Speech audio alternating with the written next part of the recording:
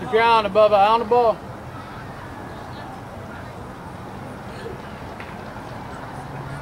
Good cut, good cut.